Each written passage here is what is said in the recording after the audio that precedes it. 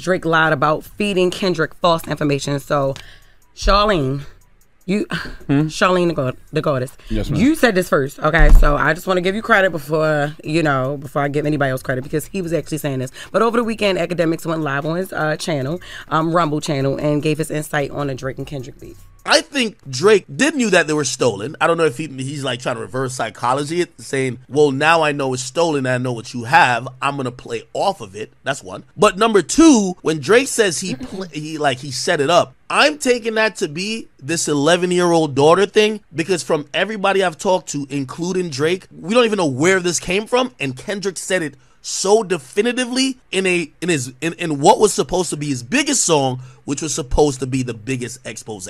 So to your point, um, he theorized that Drake knew he was being portrayed and tried to pull a reverse psychology stunt on the Heart Part Six to save face. And these are the lyrics. We thought about giving a fake name or a destination. You so thirsty, you not concerned with investigation.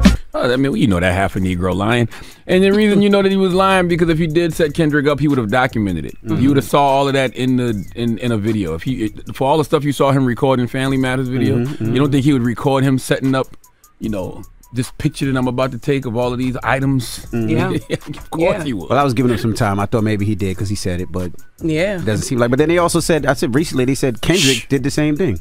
what do you do the same thing about? that he fed Drake some information or something like that. I don't know. I, I don't know. I don't care. It's over now, though. didn't It's, it's over. I mean, it's, yeah. yeah. nobody cares when you when your team loses. When your team loses, now you don't want to watch the sport no more, right? you over, you over it now, huh? None of them are my team, though. Oh please! Oh no! none boy, of them shut are my up, boy. team. You are Cut it out. None You of them are my team. You What are a talking beige about? raider. I, you I cut told it you, out. I like Kendrick and I like Drake. I love the just the. you part of the beige brigade. I am not. I don't have an OVO tattoo on my ass. I do not. Cap. What? No, but you definitely was like big gunning for him. Like, no, he. This is so sad. Like, no, he did give him the information. That's tight. I like, that's. I'm gonna be honest with you. I did not.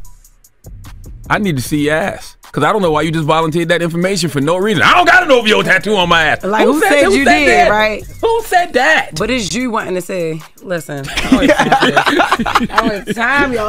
I can't. I tell you what uh. my dad told me last night. I told you. What your dad call us, man? He calls us a '90s gay slut. That's gonna keep it short. So last night, my dad, we, we were at the table, and my wife asked my dad. Was, I don't even know how we got into the conversation. It was like, hmm. so if if your son was gay, how would you take it? And he goes, I'll be fine with it. And she was like, "Really?" He was like, "Yeah." I turn on the radio. Him and Charlamagne gay every morning. So what's the difference? But he was serious. And I'm That like, ain't what you yes. said in the chat. No, no, don't say that. All right. the mix is up next. I don't know what my, my pops is 80 years old. He uses some terms that we can't say. He, don't- he doesn't. He, he doesn't take the same um, test and things we have to watch. He huh? from back in the He day. back from back in the day. all of Back in the day. fired. No. All right, it's the Breakfast Club.